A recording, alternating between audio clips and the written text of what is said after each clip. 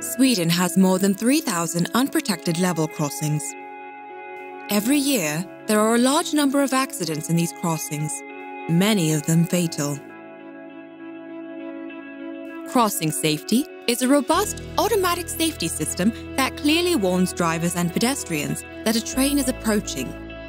Its use leads to a reduction in the number of incidents.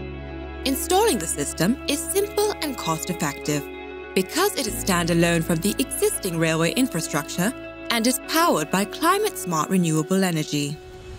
The impact on the environment is very small. The system's base station detects the train's speed and position as a train approaches the unprotected crossing.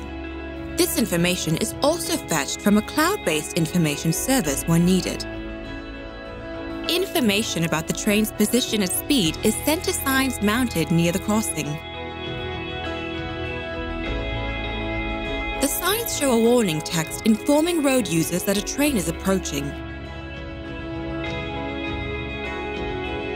While a mobile device is inside the security zone, information is sent to the approaching train by the Crossing Safety app. The sign communicates with the train's onboard system to give real-time security status from the level crossing. The app also issues a warning informing that the train is approaching. In the dark, additional visual warnings complement the warning text.